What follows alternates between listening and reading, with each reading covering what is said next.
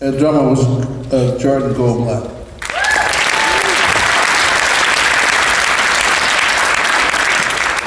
right now we're going to play for you Ellington Sound 11.